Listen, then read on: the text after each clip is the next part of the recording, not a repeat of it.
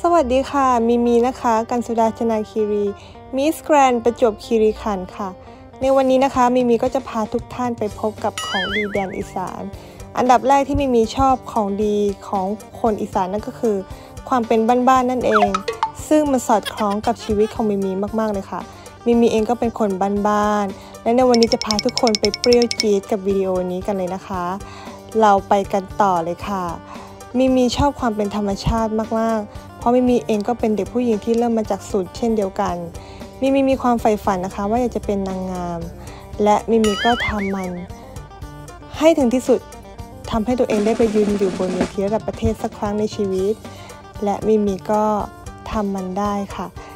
และในปีนี้มิมีก็ได้เป็นมิสแกรนประจวบคีรีขันธ์เพื่อที่จะไปต่อยอดสู่ระดับประเทศ แต่ก่อนอื่นมิมีขอแย่ไข่มดแดงก่อนนะคะ นี่ก็เป็นเสน่ห์ของคนอีสานเลยนะคะ ที่จะต้องแย่ไข่มดแดงในช่วงฤดูนี้นะคะ ซึ่งต้องบอกได้เลยว่า แซบหลายแซบหลายจ้า นี่เลยค่ะ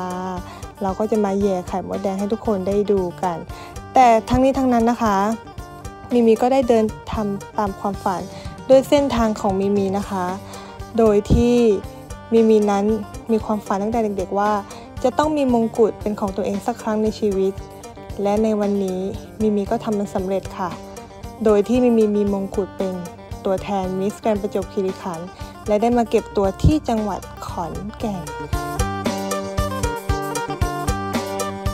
มิมีก็ได้มาสักการะบูชาก่อนอื่นเราจะพาทุกท่านไปกิน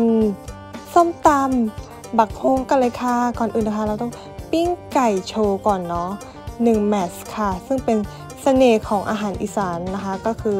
การได้กินไก่ย่าง และการได้กิน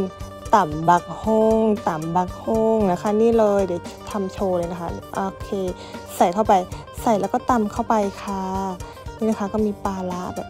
signature ของคนอีสานเลยนะคะ คือปลาแดกนั่นเองค่ะ ก็ตามตำเข้าไปเรียบร้อยนะคะอู้แซ่บหลายเด้อน่ากินมากๆเลยค่ะอะทุกคนไป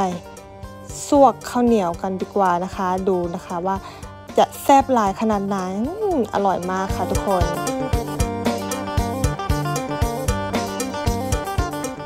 และสุดท้ายนี้นะคะมิมีก็จะให้ทุกคนไปรับชมกับการแสดงเซิงหมอลำนะคะ ซึ่งต้องบอกได้เลยว่า เป็นการม่วนม่วนจอยจอยแฮปปี้แอนดี้ค่ะ